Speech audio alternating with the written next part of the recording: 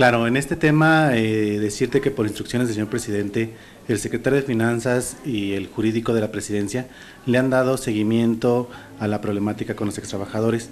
Eh, se ha tenido una atención oportuna eh, con todos y cada uno de ellos en materia de que se continúe trabajando para entregarles lo que a derecho les, corresponde. Es preciso mencionar que, como decía el presidente municipal en alguna ocasión anterior, eh, esto se continúa de tal manera de que las finanzas municipales este, se mantengan estables, pero que también los extrabajadores reciban, reciban su pago.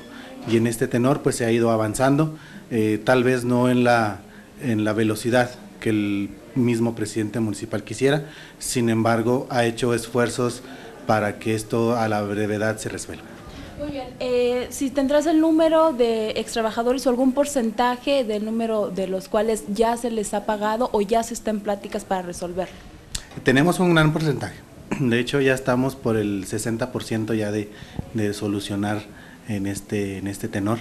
Eh, obviamente, pues siguen quedando algunas, algunas, algunos rezagos con algunas personas, pero es importante mencionar de que a través del jurídico se le sigue dando la atención y se le sigue comentando de que pues estamos, trabajando para resolver rápido su situación.